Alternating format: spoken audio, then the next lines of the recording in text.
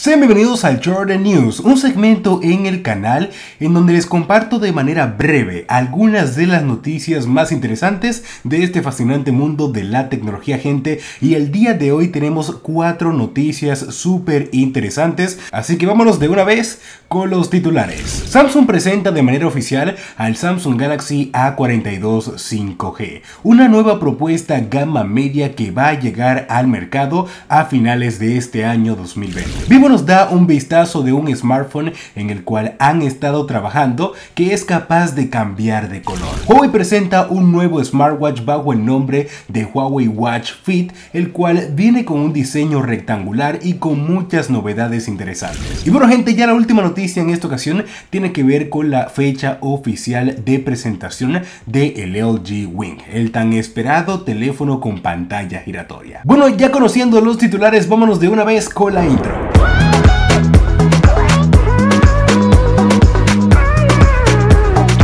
Como les dije en los titulares, la primera noticia del día de hoy tiene que ver con el lanzamiento oficial del Samsung Galaxy A42 5G, una nueva propuesta gama media por parte de Samsung que viene con un diseño realmente muy bonito. Como pueden ver en la parte frontal tenemos una pantalla con biseles bien reducidos y tenemos un notch tipo gota en donde está la cámara frontal. Si nos dirigimos a la parte trasera de este teléfono, tenemos un módulo de cámaras que se parece un poquito a lo que hemos visto en teléfonos de Huawei. Estamos hablando del Huawei Mate 20. En esta ocasión el módulo de cámaras es cuadrado y viene con cuatro cámaras y ya debajo tenemos el flash LED. Ahora bien, ya entrando en detalles técnicos, este teléfono viene con una pantalla de 6,6 pulgadas con tecnología Super AMOLED y resolución Full HD Plus. Y ya pasando al apartado de los internos, en este tenemos al Snapdragon 690 5G, que es un chip el cual no he tenido la oportunidad de probar, pero sí que promete bastante en cuanto a potencia. Además, este viene en versiones de 4 o 6 GB de memoria RAM y versiones de almacenamiento que son de 64 o 128 GB de memoria interna. Ahora bien, ya si nos dirigimos al apartado de la batería, este teléfono no se queda atrás, ya que tenemos una de 5000 mAh, pero aún no se especifica con qué velocidad de carga llega. En cuanto al apartado de las cámaras, como les dije anteriormente, tenemos cuatro sensores. En primer lugar tenemos una cámara principal de 48 megapíxeles, un ultra gran angular de 8 megapíxeles, una cámara macro de 5 megapíxeles y por último un sensor de profundidad de 5 megapíxeles.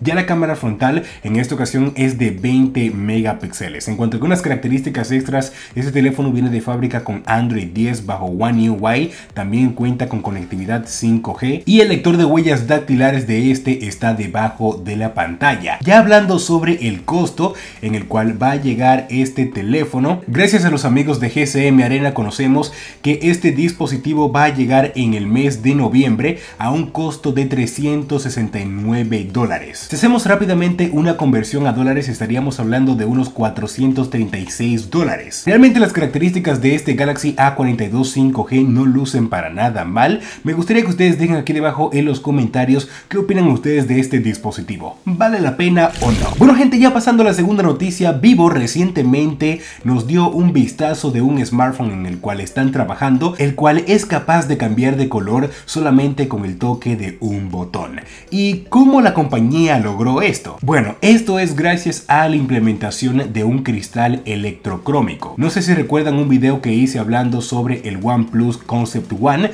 el cual fue presentado en el CES de este año. Aquí arriba les voy a dejar el video para que vayan y lo vean. Pero la tecnología de este cristal consiste en que cambia la tonalidad dependiendo del voltaje que reciba. Asimismo sucedió con el OnePlus Concept One, el cual era capaz de ocultar las cámaras traseras una vez este cristal recibía una cantidad específica de voltaje. En esta ocasión va a suceder lo mismo con este teléfono de Vivo, el cual va a cambiar de un color gris a un color azulado, como pueden ver en pantalla, una vez pulsemos un botón. Realmente sí que me gustó muchísimo esta implementación ya que cada vez que querramos vamos a tener, por así decirlo, un nuevo teléfono en nuestra mano. Me gustaría que ustedes comenten aquí debajo qué opinan de este prototipo por parte de Bill. Ya quiero ver un dispositivo de estos en el mercado. Bueno gente, ya la tercera noticia en esta ocasión tiene que ver con el lanzamiento recientemente por parte de Huawei de el Watch Fit. Un reloj inteligente con un diseño poco común, ya que tiene una forma rectangular y sí que me llamó bastante la atención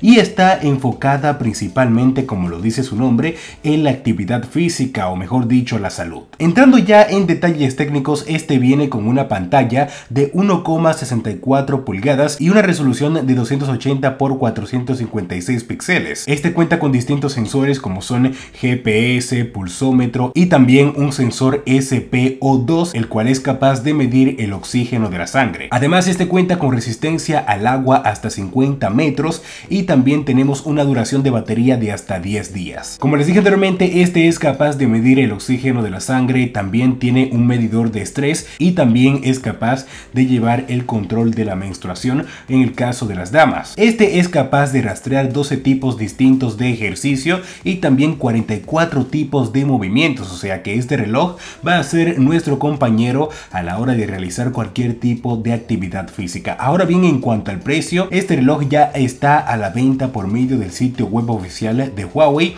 a un costo de nada más y nada menos que de 110 dólares. Realmente un precio súper económico para las características que nos ofrece este reloj. Bueno gente, ya la cuarta y última noticia en esta ocasión tiene que ver con la fecha de presentación oficial del LG Wing. Un smartphone del cual hemos estado hablando mucho aquí en el canal y hace una semana exactamente les hice un video hablando sobre las últimas filtraciones y rumores que hay sobre este y aquí arriba les voy a dejar un video para que vayan y lo vean. Pero por fin ya conocemos por parte de la misma LG en un anuncio como pueden ver en pantalla que este teléfono va a ser presentado este próximo 14 de septiembre. Sinceramente estoy muy emocionado por el lanzamiento de este teléfono, ya que como pueden ver en pantalla se filtró un video de una persona jugando con este y sí que me emocionó bastante. Hay muchas personas que dicen que no vale la pena el dispositivo, pero debemos de apostar por la innovación en este mundo tecnológico. Pero sí gente, ya por fin tenemos fecha de presentación oficial. Me gustaría que ustedes comenten aquí debajo qué opinan de un dispositivo con pantalla giratoria. ¿Valdrá la pena o no? Y bueno gente, estas han sido las noticias del Short News del día de hoy. Pero antes de finalizar,